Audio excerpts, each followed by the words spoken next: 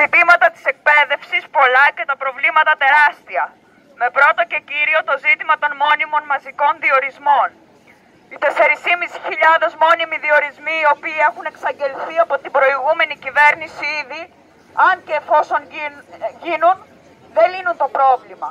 Είναι ενδεικτικό πως φέτος έχουν γίνει ήδη 35.000 προσλήψεις αναπληρωτών συνολικά, ενώ υπάρχουν ακόμη κενά σε ειδικότητες και καθηγητές σε όλη τη χώρα. Υπάρχουν τμήματα που δεν λειτουργούν, ακόμη και σε μαθήματα κατεύθυνσης στη δευτεροβάθμια εκπαίδευση.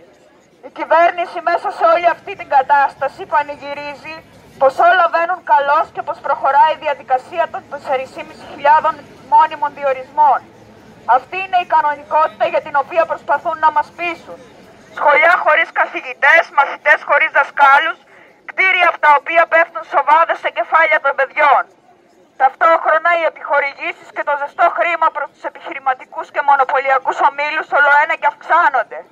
Οι δαπάνες για τον ΝΑΤΟ είναι στο 2% του προ... προϋπολογισμού, δηλαδή 4 δις ευρώ ετησίως.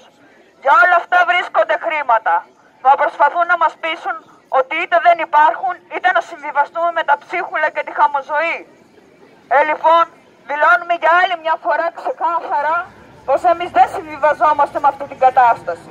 Διεκδικούμε τις σύγχρονες ανάγκες της δικές μας και των μαθητών μας, απαιτούμε εδώ και τώρα τουλάχιστον 35.000 μόνιμους διορισμούς, ώστε να καλυφθούν οι στοιχειώδεις ανάγκες της εκπαίδευσης.